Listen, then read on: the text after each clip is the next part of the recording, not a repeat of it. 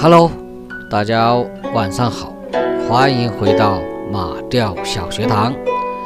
今天准备给大家讲解马吊牌赔偿规则当中关于红万这张牌的打法要点。红万也就是万万，它是十子门当中最大的一张牌，只有它才能够克制千生。当然，它也可以打白老和各种石子。但是不能因为是老大就可以随意打别的小弟哈，呃，要不要打，要什么时候打，都需要运筹帷幄、纵览全局，不能够莽撞行事，否则的话可能就会吃不了兜着走。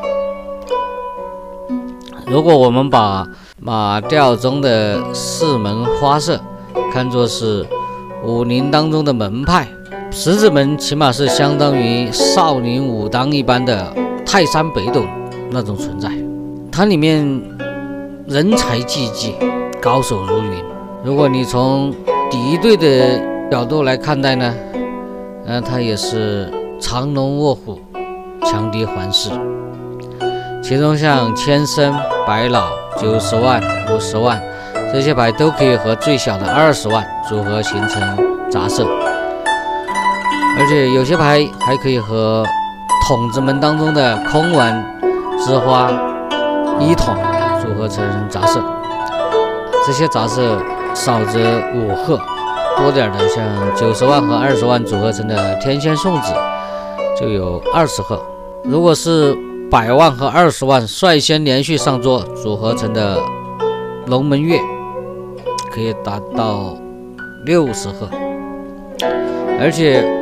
红万、千生、百老、二十万这些紧张，还可以和其他三种花色里面的赏、尖、吉组合成四门正色，每种花色一个紧张，少则十几盒，多的上百盒。所以呢，红万的发、落、灭、流就需要兼顾打桩。打发十子的白老，劫色截断各种色样，以及阻挡敌方阵营的开冲，各方面来综合考量。这里我们可能要解释一下发落灭流。我们看那些古装片的时候，经常就会听到诸如“任凭老爷发落”啊，或者是“听后”。发落之类的说辞，但在马吊当中呢，发和落是两个不同的名词。发指的是作为头家出牌，第一个出牌的玩家，每一轮他打出的牌就叫发牌。而落呢，指的是前面已经有人出牌，而我打出的牌要大过目前场上最大的牌。就叫落，而如果是我出的牌不大于目前场上最大的牌呢？呃，有可能是同种花色里面更小的牌，也可能是不同花色的牌，都叫灭，就不能让人看到啊，背面朝上打出去。而流呢，当然也不是指不出牌，每每个人都是要出牌的，从随时大家的牌的数量要保持一致。留牌是针对特定的某一张牌来说的啊，就这张牌，我在目前这一轮不打出去，留在后面再打，对那张牌来说就是留牌。好，我们接下来就从提万、落万、留万、立万、灭万这几种类型，逐一来为大家。讲解红万的打法啊，第一是提万的规则，提万它实际上就是发万，只是提不完全等于发，它指的是在发出的牌必然是最大的那张牌，其他的玩家不可能打更大的牌出来了。呃，比如说红万，或者是其他三门当中的赏，因为他们天然就没有对手啊，所以出红万的时候啊，你作为头家第一个出牌发打出的红万就可以称为提万，呃，他潜藏的意思是提万上桌啊，直接就上桌了，不用考虑后面打什么牌。呃，如果是出的赏呢，也可以称为提赏。好，我们看什么情况下可以提万，什么情况下不能提万。首先，在万百双持，也就是同时拥有红万和白老两张牌，这时候不能提万，也不能出白老，也不能出十子。啊，这个很好理解哈，我们是通过实例。呃，假如我有有红万，有百万，有五十万，也有其他的花色，那我现在缺一个千身，千身多半就在外面某个人的手上。我现在如果打红万，把红万提出来，那他的千身肯定就会留在后面出。他之后就没有天敌了啊，没有人能够克制他了。而我手上的五十万啊、百万这些后面还得出，只要再下一个打出去，他的千身必然就要干掉我。然后我现在如果打五十万或者百万呢，那先生这一桌。可能就上桌了啊，也没办法收拾他呀，别的人都克制不了，所以这个就和观赏斗士是同样的道理，只是观赏斗士是因为其他门有有赏，没有尖，还有小于尖的牌，这时候他需要把有赏的那一门先留起来，打十子。我我现在十子门就需要也需要观赏啊，同样的。总之，在红万和白老双持的情况下，不能打十子门。好，第二个万千双持，就同时拥有红万和千身的时候，这个要分两种情况，一个是已经得桌，已经得桌哦，万千两张牌都不能再提出。假设哈，我有红万和千身，我已经上桌了，所以我的红万和千身就不会再被吊起，没有吊起的风险。那我千身和红万是不是要用来守二十万和百万，还有各种石子？如果把红万先打出去，等到白老之家他在发石的时候，我怎么办？我就一个千身的话。我如果打这个石子，那他的白老后面就没有敌手了，所以我这个千身，我就看到他爆百发石的时候不敢打，就很可能导致玩家连续上桌啊发那个爆百的玩家。而如果是我万千双持的情况下，呃，而且还没有得桌的话，就有风险，就会出现红万和千生最后被吊死的情况。这时候还是要先上一桌，保证红万和千生他至少到最后有一个能够发挥作用，但不不能两张全提上桌，定的，因为白老啊、二十万之类的都还在外面，你两张全上桌，这个白老要逃跑。甚至二十万也要也要上桌。好，下面一个是庄家爆把以后不能再提红万啊，这个同跟万千双十的时候不能提万千是一样的道理。如果再提红万的话，人家庄家爆百出时，你只有一个千身了，就打也不是，不打也不是。而如果在还没有爆百之前呢，如果啊，他已经有牌上桌，而且不是通过集桌可以在恰好能够顶破色样的时候提腕破色。呃，比如说啊，目前场上打了四圈了，每个人都没有红章上桌。那在第五章，我想要破掉另外三个人的色样，我就直接提红万上桌就可以，因为我就可以保证五张牌他们都没有红章上桌。要形成四门色样，至少要四个红红章或者锦张。他们只有三个轮次了，就算后面全他们三个人中的某一个全是红章上桌，都没机会形成四门色样。但这种情况只能对案例的上桌的牌有效，因为如果你是通过集桌立万，你立了万你就不能再提出，呃，否则你就要被算集桌。呃，这个只是针对。呃，论罚的情况，你如果不怕被罚，或者是最后没有没有输啊，反而是你赢了，这都不存在的啊，都所有操作都可以进行。我们一直反复强调，总的其实总的原则是要顾全大局啊，为了自己的阵营，首先不输啊。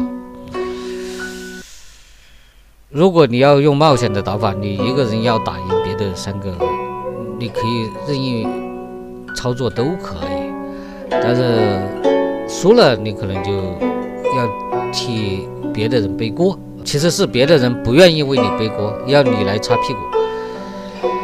嗯，最后是千生打十已经上桌，不能再提红丸啊，这个也是很显很明显。因为比如这里我们的千生已经打了上桌了啊，他就不能再发挥作用了。而白老和二十万都还在外面，再提万万上桌，白老和二十谁。所以在千生上桌以后，白老和二十万就交给红万来处理了。这红万要承担兼顾千生的责任。接下来我们看一下落万的规则，就是红万要不要去打别人的牌。首先是万千双持的情况，一旦有人发十必须用红万阻止他的十子上桌。呃，假如头家他发了八十万，假如第二桌、第三桌都没有打，他们都灭牌了，那我必须给他打断啊。不一定要用红丸这时候啊，我如果是第二个玩家呢，嗯，这时候我尽量要用红丸给他打断，表示我是万千双持嘛。如果我是用其他的石子来做的话，后面就可能被白老溜掉。白老和九十呃溜上桌都很危险啊。他们都可以开冲，都可以组成色样。第二是有人发石爆百啊，如果是已经被闲家的千生或者白老捉断，那我的红万就不能再捉。我们看例子哈，比如是有人发了六十万，呃，被闲家用白老捉住了，我是同样是闲家的话。自然不应该捉，因为是同一个阵营的队友嘛。那如果我是庄家，为什么也不能捉呢？因为可能会产生色样。假如我用红万给他打掉了，那就放任了另外一个啊千生百老中的另一个在外面，而且还有二十万，他极可能形成色样。我先放放过百万呢，他想要形成。杂色，他下一桌必须带出二十万，红万在他下一步出二十万的时候就必须给他打断了啊，或者也也有其他的使者给他先打断。如果我这里把万万出掉了，后面人家出千升再出二十子，可能就没有人能够压得住，也可能是这里我用红万先压了他的千升，后面的白老和二十万。就没人压得住，所以如果庄家要打的话，就可能冒着赔恭贺的风险。呃，再下一个是，如果庄家的前身或者白老捉了石子呢？这种情况下发石的都都不是爆白哈，因为白老在在庄家或者闲家的手上用于捉石，庄家的不管是千生还是白老红腕就必须打断了，因为庄家他是敌方阵营的，你必从断庄的角度来考虑，必须给他捉住。闲家用大石爆白啊，比如闲家出了一个八十，只要六十万以上的牌，大于六十万的都是大石啊，七十、八十、九十之类的我。如果你只有一个红万不断的话，它后后面就可能会出其他花色里面的闪和尖，搞不好就到了不可收拾的地步，没有没有人打。最后是万百双持。啊，打庄的情况，我们前面也讲过了。如果你手上同时有红万和白了，如呃而庄家在你下面，你应该出最大的牌，用红万给他把庄逼死。如果你不用红万的话，他的千生可能会上桌。装在上家的话，只要能把庄打断就可以啊，尽量用百万给他。打死，如果他是千生，肯定就只能用红万给他打死。啊，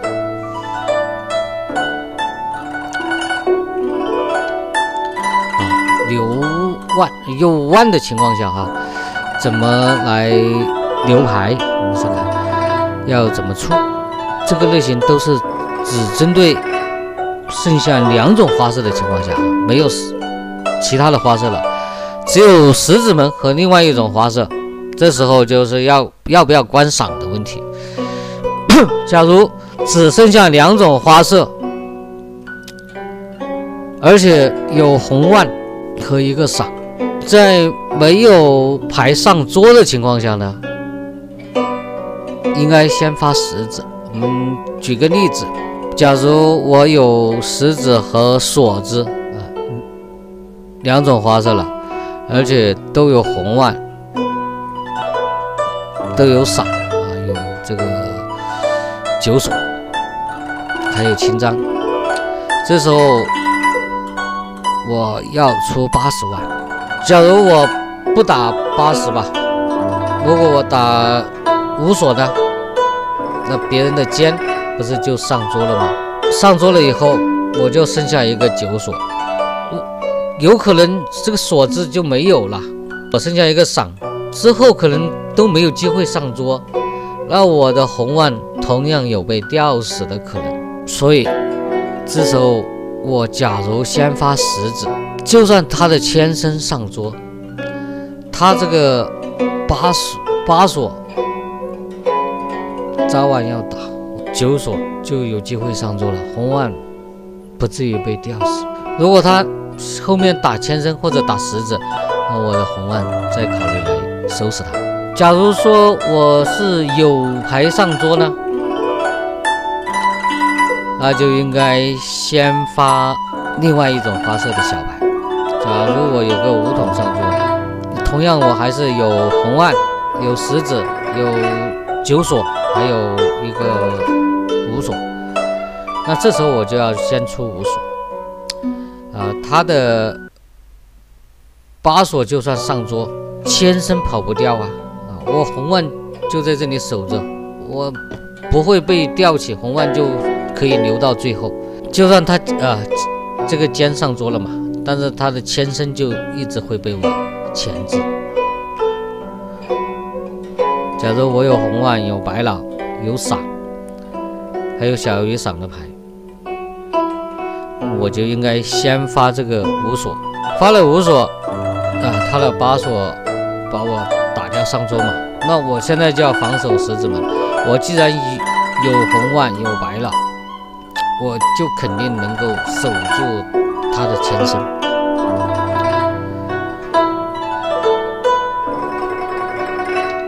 我们再看立万的规则。首先，如果持有红万，而且超过一个赏，那就是红万和两个赏，甚至三个赏。两个赏这么大，不可能没机会上桌。所以这时候就不能通过集桌来立万，否则的话，你真的是想集桌，不是 立万只是借口。还有顺风旗在手也不能立万，同时有百老、有千生、有红万，叫做顺风旗。侄子们最大的牌都在你手上了，你还 立什么万呢？立万是为了钳制百老或者千生，百千万都在你的手上，你已经没有立万的需求了。立万师出无名啊，这个。立万立千都是为了要节制百老或者牵生，所以防止因为无桌在前七张牌的时候没有牌上桌，最后被吊死，才要想办法抢先上桌。你都有顺风旗到手了，你根本就没有节制。白老千生的需求都在你手上，所以你再要说立千立万都是师出无名。呃，比如之前已经有人集桌之后呢，也不能再通过集桌来立万，因为两家集桌的话，最后万一出了问题，追究责任还是追究后面集桌的这个人。后方，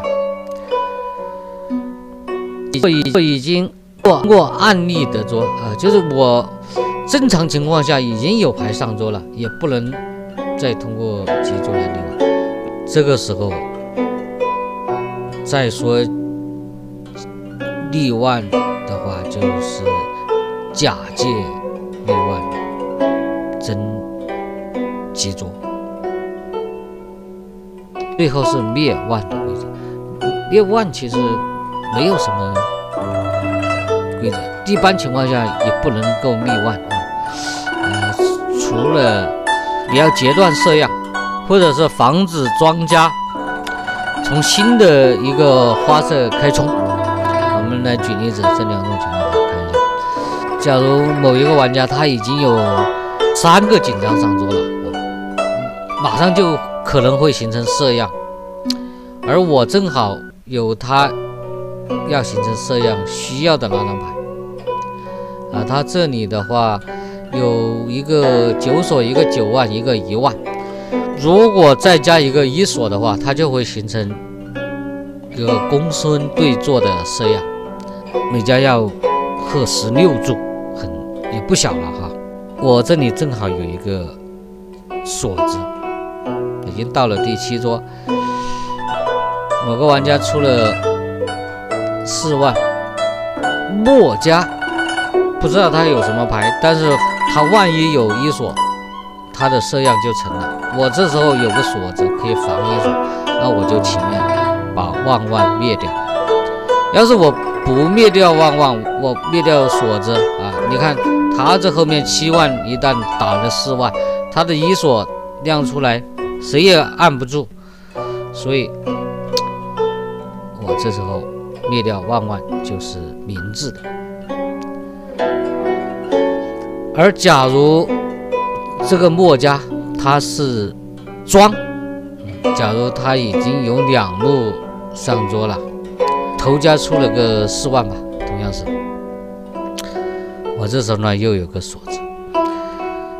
他虽然没办法形成四门色样，但是他如果有个一锁打上桌，他就可以冲出锁子，又不知道会增加多少的积分，所以呢，我就要防。这时候也应该灭掉红万。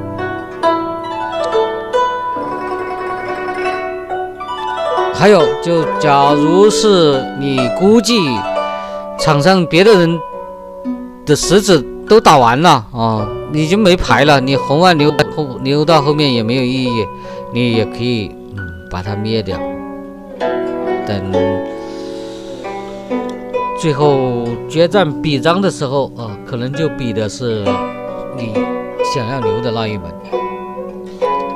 这个对对所有花色都适用啊，反正你觉得那种花色可能已经没有了，你留个大牌估计也不会打到那里去，嗯，你就可以